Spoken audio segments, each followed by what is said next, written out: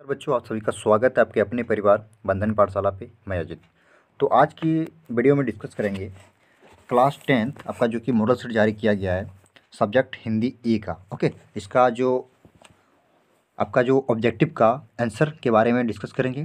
तो आइए आज की सेशन में बहुत ही आपका जो कि ये ऑफिशियल एक तरह देखा जाए तो सटीक आंसर को ज़िक्र करेंगे तो आप लोग जो कि बने रहिए, बहुत ही अच्छा होने वाला है और चाहिए आप लोग मिला लीजिए। आपका ये ये जो आपका सबसे बड़ी बात है कि बच्चे जो समझते हैं कि हम लोग जो कमेंट करते थे कि, सर, ये जो है, इसमें जो कि क्या इससे हमारा फाइनल एग्ज़ाम में कैसे क्वेश्चन आता है? तो क्वेश्चन इसमें से रहता है बट आपका जो कि तीस में तीस आपका रहने वाला नहीं बट हाँ कुछ इसमें क्वेश्चन को रिपीट किया जाता है। तो आप लोग के लिए बहुत ही बेनिफिशियल है ये जो कि आज का जो मॉडल सेट जितने भी सब्जेक्ट का जारी किया गया है तो सारे सब्जेक्ट का क्या करें, एक बार क्या करें, इसको देख लें। ओके तो मैं बता दूँ, जो बच्चे नए हैं, अगर आपने चैनल को अभी तक सब्सक्राइब नहीं किया चैनल को सब्सक्राइब करके बेल को प्रेस करना ना भूलें, क्योंकि हमारे यहाँ से जो कि है सीरीज़ चलाया जाता है और डेली प्रत्येक सब्जेक्ट का आपका क्लास टेंथ का जो कि है, तैयारी करवाया जाता है, शाम के छः बजे।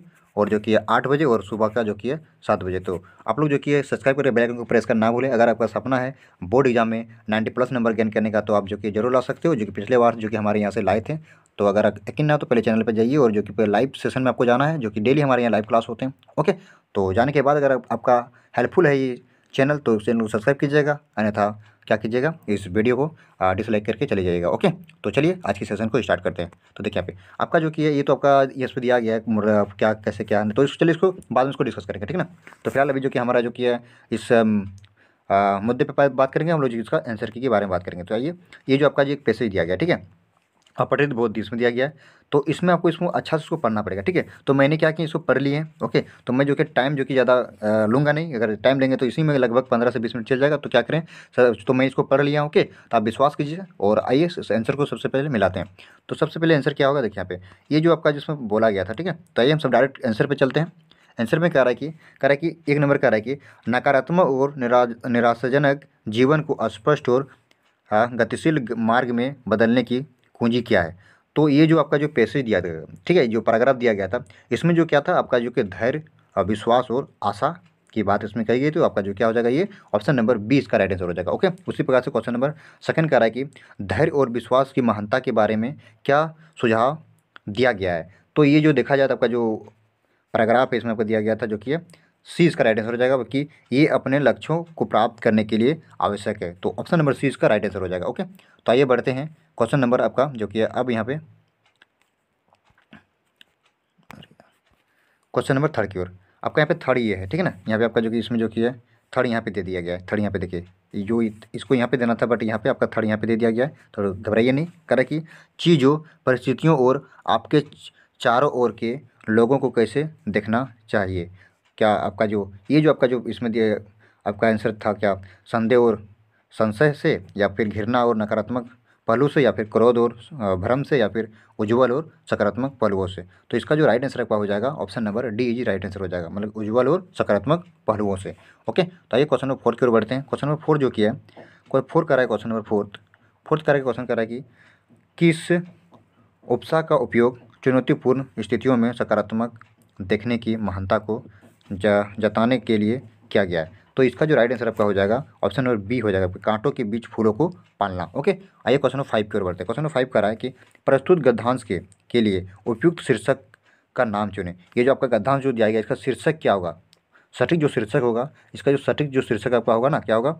सकारात्मक का मार्ग, आशा और विश्वास। ये जो आपका जो गद्यांश दिया सबको पढ़ने के बाद जो एक मतलब कि इसका जो शीर्षक क्या निकल के आता है, जो कि है, क्या है आपका? सकारात्मक का मार्क आशा और विश्वास। तो option number D is right answer हो जाएगा ओके तो आप लोग को इस तरह से इसको आंसर कर लेना है।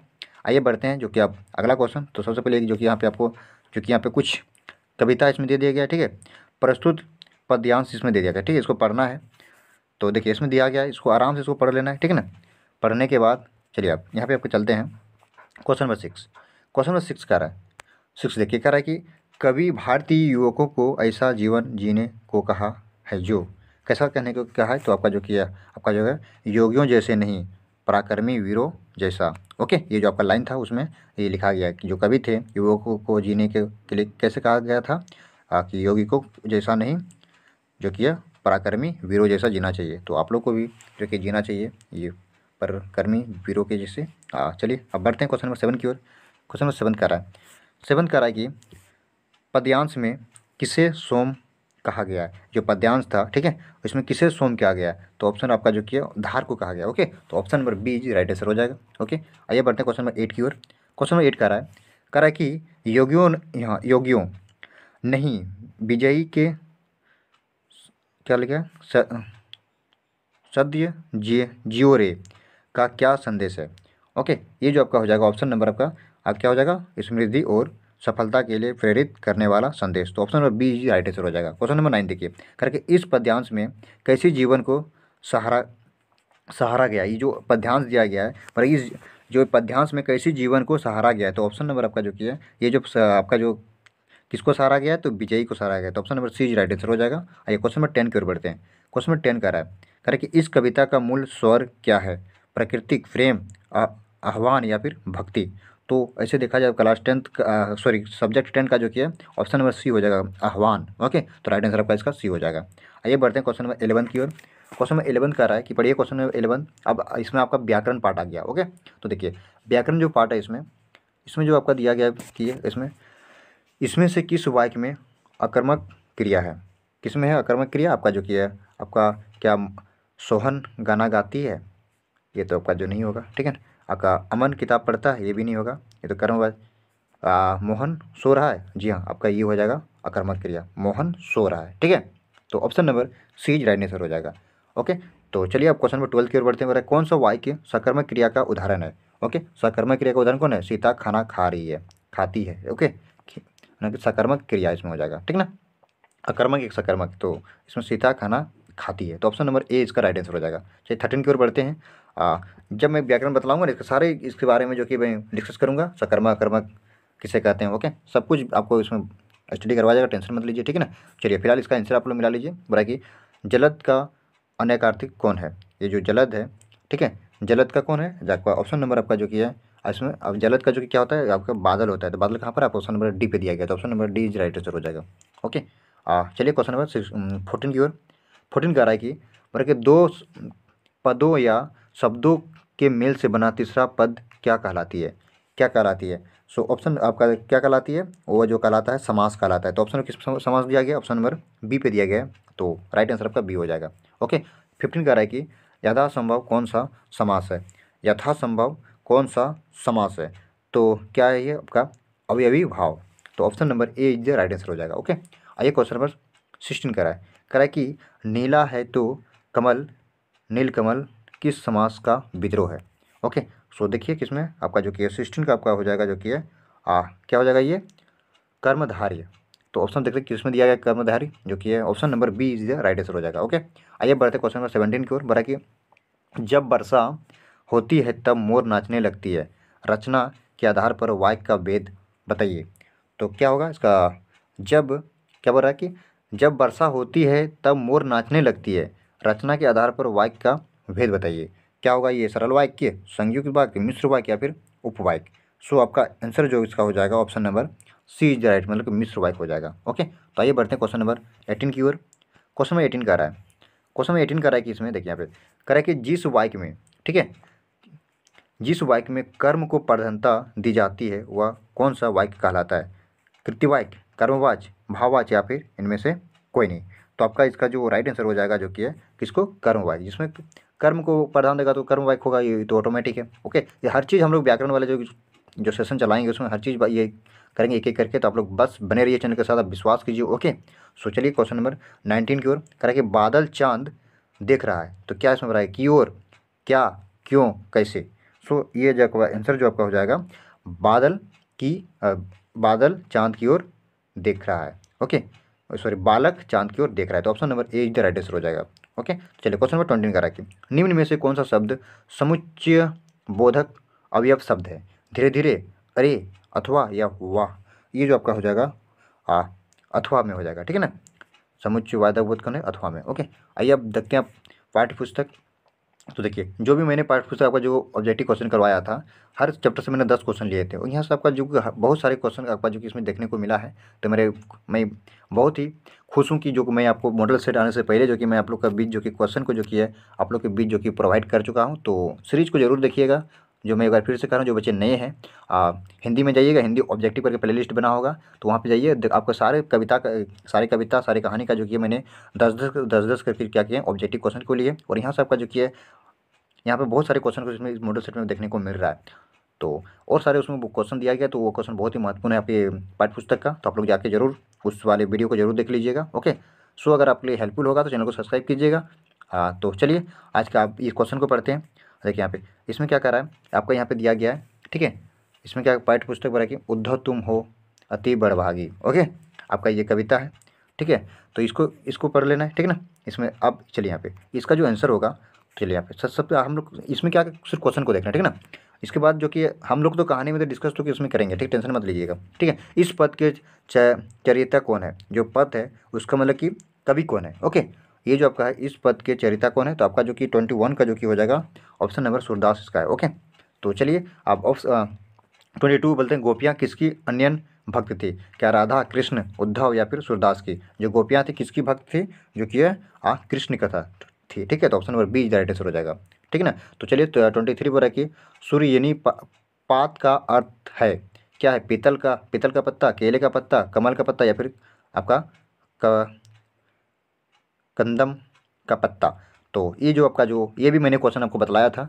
सो जो मैंने सीरीज़ जो लाए थे इम्पोर्टेंट क्वेश्चन का तो आपका जो इसका जो आंसर हो जाएगा तो जो भी बच्चे रेगुलर उसको पता ही है। तो ऑप्शन क्या है उसमें? कमल का पत्ता जो कि है उसमें जो कि वाइफ है, ठीक है?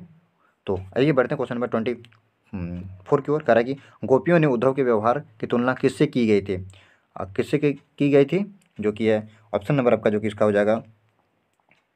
आ, गुड़ खाई हुई चिड़े चिटियों से की गई? दीपक और बातें से की गई थी? कमल के पत्ते और तेल के मटके से की गई थी या फिर फूल और भोरे से की गई थी? तो ऑप्शन नंबर आपका जो किया किससे किया गया था? कमल के पत्ते और जो किया तेल के मटके से की गई थी। तो ऑप्शन नंबर इसका सी जी राइट आंसर हो जाएगा। आइए बढ़ते क्वेश्चन नंबर ट्वेंटी हाँ फाइव की ओर के अब इसमें जो कि आपका जो ये आपका है।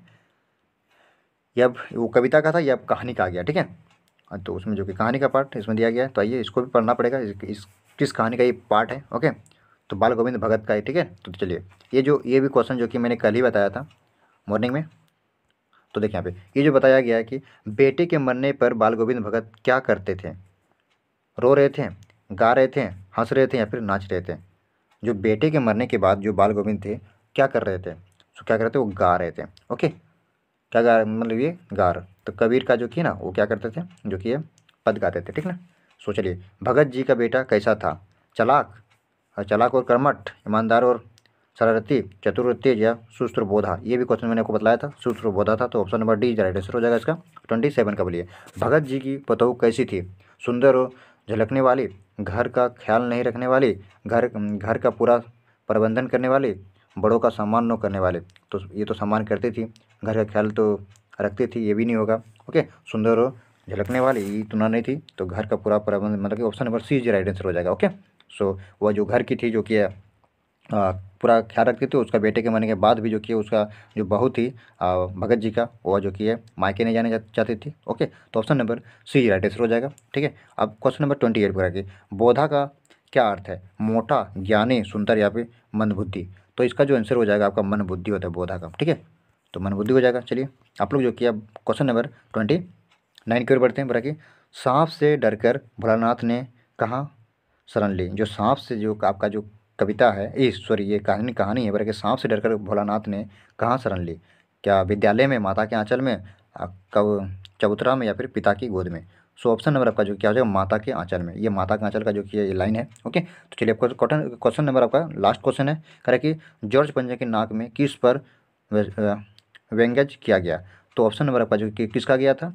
क्या रानी रानी एलिजाबो वेद पर या फिर सरकारी तंत्र पर या फिर रानी के रानी के दर्जी दर्जी पर या फिर भारतीय के मोह, मोहन नवा नवाजी पर। तो इसका क्या हो जाएगा? जो कि जॉर्ज पंजन का नाक कि पर किस व्यंजक की क्या गया था? तो सरकारी जो कि तंत्र पर। तो इस तरह से आपका जो कि हिंदी का जो खत्म कर चुके हैं। तो अगर आपने अब साइंस का नहीं देखा है तो और प्रत्येक सब्जेक्ट आपको मिलेंगे ओके? पहले लिस्ट आपको पहले मॉडल सेट का एक बना दिए गए। इसी तरह से जो कि है प्रत्येक सब्जेक्ट का आ जाएगा। आप जो कि है आपको आज आज ही कि आज ही जो कि सारे के सारे मिल जाएँगे। तो आप लोग ज़रूर देखिएगा। तो चलिए, आज की सेशन को यहीं पे एंड करते हैं। मिलते हैं किसी एक नई वीडियो में तब तक के लिए बाय थैंक यू